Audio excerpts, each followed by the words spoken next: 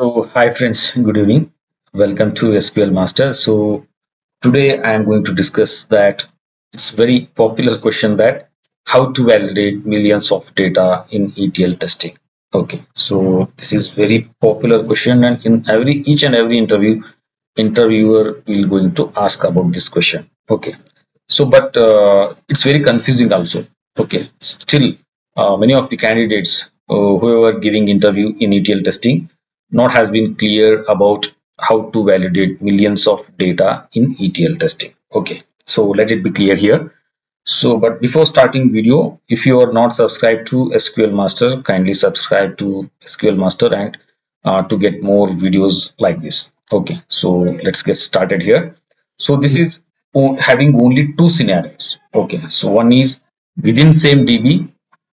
Okay, another scenario is within different using different databases. Okay so source is within same db means source is also oracle and target is also oracle.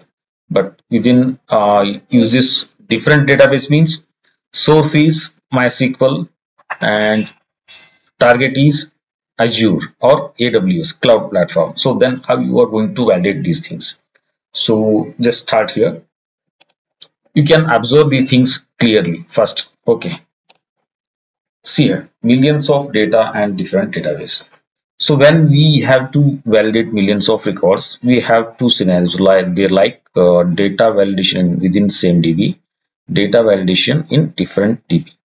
In first option you can use except command in mysql or minus query in oracle. You know how to use minus query. Okay so first select query minus second select query. That is source uh, select query and target select query. Whichever is not present in source that will display if it is present in target or else whichever reverse vice versa. And whichever is not present uh, present in target and that is not present in source that will display. Okay vice versa. So you know minus query. So if you are using mysql that is except if it's having different db then how? Different database here, we must have to use some automation tools like Python, C Sharp or other tools. Depends on company which tool it is uses. Okay. By automation tool, we have to write script for automation. Then we execute millions of data validation here. So in interview also, you must have to tell uh, with confidentially about these two scenarios. Okay. So uh, if the interviewer asks you which automation tool, you just say that Python, C Sharp, we write the scripts there only. So just uh, you say that we have to use automation tool to validate millions of data like Python, C Sharp or other depends on company. Different DB means one is MySQL and other is Azure or AWS cloud based. In such case, we have to use automation tools. So this is only the possible uh, way.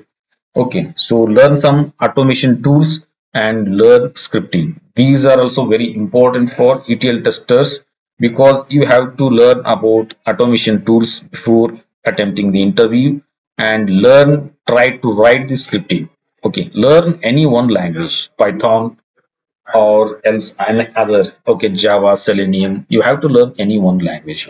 So if you know how scripting then it will be more easy for you to validate different databases. Data in different databases. Or else in if it is in within same db you have to use minus query in oracle. Or else if consider mysql you have to use except but when the situation came uh, of uh, different dbs you must have to use some automation tools compulsory.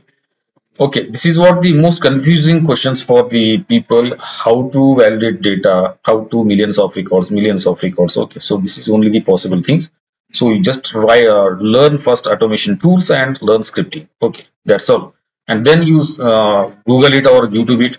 You will get uh, many videos to learn these things. How to uh, use automation tools how to uh, write the scripting. Okay first uh, learn those things and you will be 100% confident to answer for these questions. Okay so thanks for watching this question. If you like like it and share it. And i will be with you with some more new concepts. Thank you. Thanks a lot Bye bye. Have day. Take care.